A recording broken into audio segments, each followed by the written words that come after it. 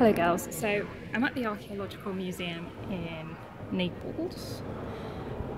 Um, I don't know if you can see, but right at the end of this corridor is one of our friends.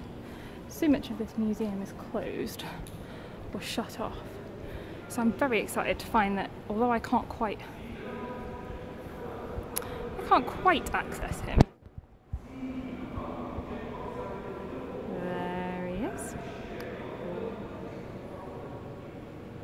Be about.